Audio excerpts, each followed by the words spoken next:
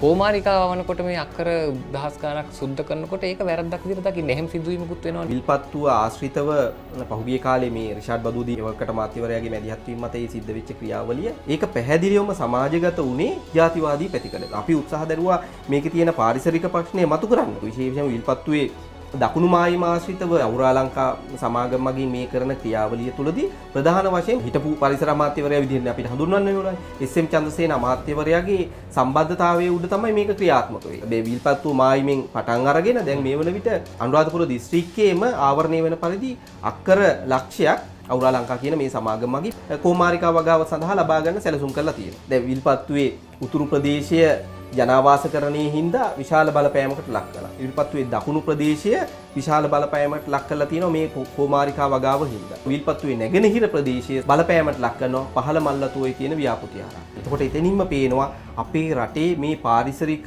අනපනත් කොයි විදිහටද පරිසර අමාත්‍යවරයා විසින් උල්ලංඝනය කරලා දාන්නේ කියලා. ගස්වැල් මල් පල සිවන සදන්නේ.